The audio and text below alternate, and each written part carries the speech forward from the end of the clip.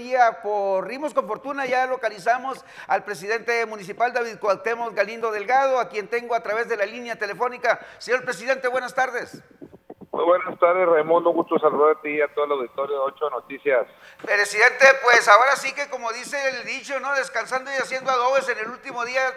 de, las ah, vacaciones allá en Hermosillo. Interesante resultado de una gestión que nos asegura más de alrededor de 60 millones de pesos para obras de infraestructura, ¿no?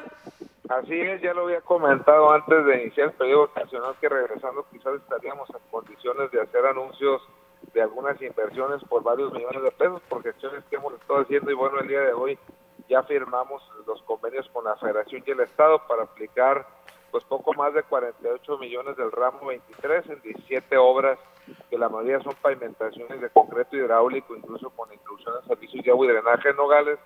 y otro es por poco más de 10 millones de pesos del Fondo Fronteras, que incluye tres obras también infraestructura y bueno, pues como lo comentan, nos da una cantidad importante en recursos, cerca de los 60 millones, pero también en obras, son 20 obras adicionales que estaremos ejecutando y te comparto que bueno, que aún traigo otras gestiones eh, en cartera y que espero yo también en los próximos días estar anunciando otros recursos para más obras de Nogales. Y bueno, también compartirte que aprovechando esta visita, estas reuniones de Hermosillo, también me reuní con personal de Telecom con el gerente regional noroeste, donde pues estamos explorando la posibilidad de abrir cinco este, centros de atenciones adicionales entre el gobierno municipal y Telecom, en donde se pueden desarrollar varias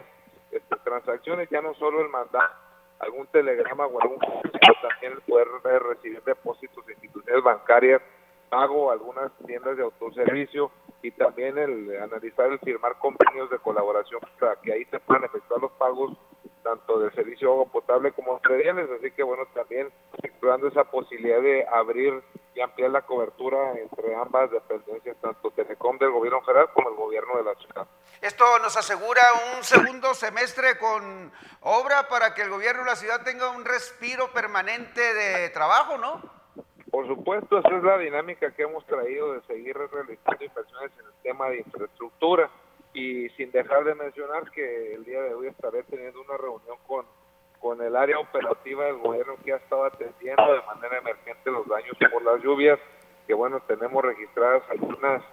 calles, eh, algunas pavimentadas y otras de terracería en la ciudad, pero bueno, se ha estado trabajando de manera constante, pero probablemente hoy como resultado de las evaluaciones que tengamos en el programa emergente para atender el tema de bacheo, de raspado, y se rebaje de algunos lugares, así como continuar con las labores de limpieza que se han tenido más constantes, pero desafortunadamente pues se limpia alguna vialidad y no da cuenta vienen las lluvias y se vuelve a darle escurrimiento de tierras y, piedra que genera también desgaste en los lugares pavimentados, pero bueno, seguimos estando muy al pendiente, trabajando de manera este, constante, hay que hacer un reconocimiento de parte a imagen urbana, a servicios públicos, a obras públicas, a protección civil, a mapa de Secretaría del Ayuntamiento que han estado muy pendientes, al igual que Seguridad y Pública, que incluso han hecho algunas labores de, apoyo para cruzar algunos arroyos crecidos y también para poder liberar de, algunos eh, problemas de atolladero a, vehículos que se han quedado varados en el agua o, por el exceso de lodo a seguridad pública. Así que de manera muy coordinada, pues el día de hoy estaré recibiendo una evaluación general también para valorar si es pertinente o no declarar a Nogales zona emergencia y posteriormente desastre, lo que sí hemos sido muy cuidadosos y no lo hemos sido hecho antes porque en ocasiones se hace la solicitud de la declaratoria pero no con la información correspondiente ni los datos suficientes y luego es rechazada por el gobierno federal a través del Secretaría de Gobernación, así que pues el día de hoy con la valoración que se tenga con el resultado de los daños que se tiene evaluados por cada dependencia y las peticiones de apoyo que tenemos de vecinos de la ciudad, pues ya están haciendo la valoración si es viable y es factible solicitarlo para que no nos sea rechazado. Habría que pedirle a la ciudadanía que esté un poquito de paciencia. ¿Se va a arreglar la ciudad, eh, señor presidente?